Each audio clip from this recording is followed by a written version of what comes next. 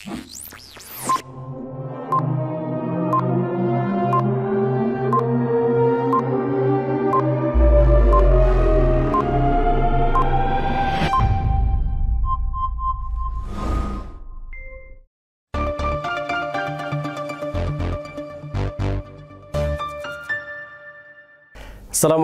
warahmatullahi wabarakatuh dan salam sejahtera. Kita bertemu lagi dalam Berita PAS bersama dengan saya, Hezri Yassin. Peluang pekerjaan atasi pengangguran. Presiden PAS Datuk Seri Tuan Guru Haji Abdul Hadi Awang dalam kenyataannya hari ini menyentuh isu peluang pekerjaan yang ada di negara ini sebenarnya mampu atasi pengangguran. Beliau menyebut bahawa Ibn Khaldun iaitu bapa ilmu sosiologi telah merumuskan bahawa sumber kehidupan merupakan penyumbang rezeki melalui pekerjaan yakni imarah iaitu kepimpinan yang mengurus, tijarah iaitu perniagaan, ziraah iaitu pertanian, sinaah industri dan tambahannya ialah khidmah iaitu perkhidmatan yang merupakan lapangan pekerjaan dan sumber rezeki yang diusahakan. Beliau memetik kata-kata Ibn Khaldun bahawa sepatutnya semakin ramai penduduk, semakin banyak keperluan dan meningkatnya peluang pekerjaan dengan hasil yang bertambah banyak pula. Seterusnya menjadikan negara itu makin kuat dan maju. Makin pesat kemajuan ekonominya, bertambah peluang pekerjaan dan meningkatnya pula pendapatan. Tuan Guru Haji Abdul Hadi yang juga naik Presiden Kesatuan Ulama Sedunia itu juga berpendapat pemerintah adalah pengurus manakala rakyat merupakan jenteranya yang mana teori tersebut sebenarnya adalah bercanggah dengan anggapan teori dan falsafah barat yang menjadi ancaman kepada rezeki dan kehidupan manusia. Saya pernah mendengar temu bual RTM bersama Yang Mulia Profesor Diraja Ungku Abdul Aziz bin Ungku Abdul Hamid beberapa tahun lepas. Beliau menegaskan betapa nelayan di pantai dan penuria getah di kawasan pedalaman keluar awal pagi. Menunjukkan bahawa masyarakat yang miskin itu bukannya pemalas. Hari ini kita menyaksikan anak muda yang berpendidikan tinggi termasuk yang tidak tinggi pelajarannya tetapi tetap bertenaga muda susah mendapat peluang pekerjaan katanya. Tambah beliau, ada yang menganggur atau pendapatan tidak mampu menyara hidup di bumi yang banyak hasilnya dan ramai tenaga kerjanya. Tetapi masih ramai yang menganggur dan yang telah bekerja pula ramai yang dibuang kerja atau dipotong pendapatannya. Mengapa kehidupan mereka terhimpit? Jelasnya, masalah tersebut menunjukkan ada perkara yang salah dengan pendekatan yang tidak betul atau dasar yang tersesat jalan. Politik berprinsip amalan PAS. Selang beberapa hari setelah calon Perdana Menteri mereka menyerang PAS dengan memainkan isu kafir, mufti-mufti dikatakan kafir malah orang yang para mufti nasihati juga kafir kerana tidak bertindak terhadap PAS, hari ini giliran Presiden PKR pula.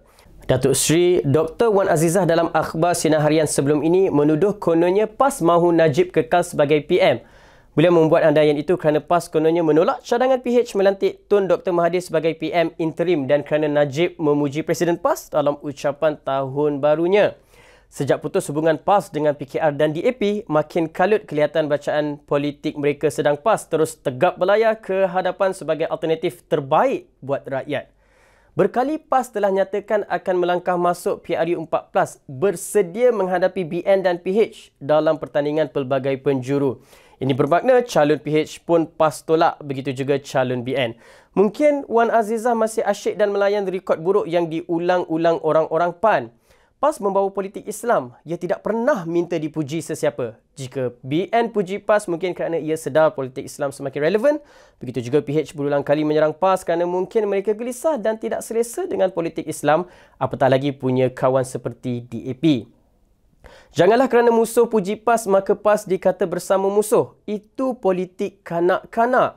PAS bersungguh mahu menjadi kuasa penentu dalam PRU 14 ini sehingga Islam diterima sebagai formula penyelesaian permasalahan ummah dan negara. Siapa saja mahu puji atau keji silakan. Yang penting rakyat Malaysia mesti dibawa keluar dari kemelut nestapa mereka.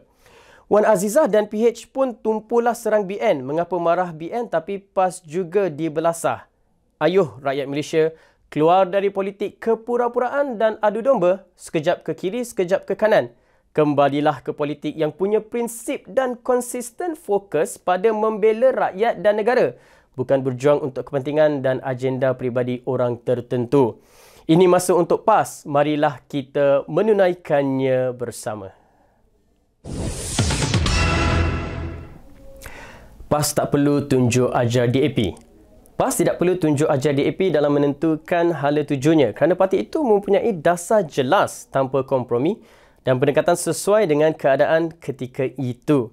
Setiausaha Agung PAS Datuk Takiuddin Hassan berkata, Parti Islam itu juga komited dengan jalan demokrasi serta politik sihat dan konstruktif, menolak politik kombatif, melulu dan destruktif seperti diamalkan di AP.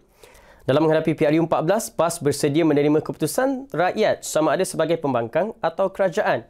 DAP boleh meneruskan dasar chauvinistik dan sikap pura-pura mesra Islam yang tidak pernah berubah sebagai pendekatan dalam menghadapi PRU 14 nanti. Rakyat pasti boleh menilai sikap dan muslihat sebenar DAP yang memperalatkan sesiapa sahaja demi kuasa, katanya dalam kenyataan semalam.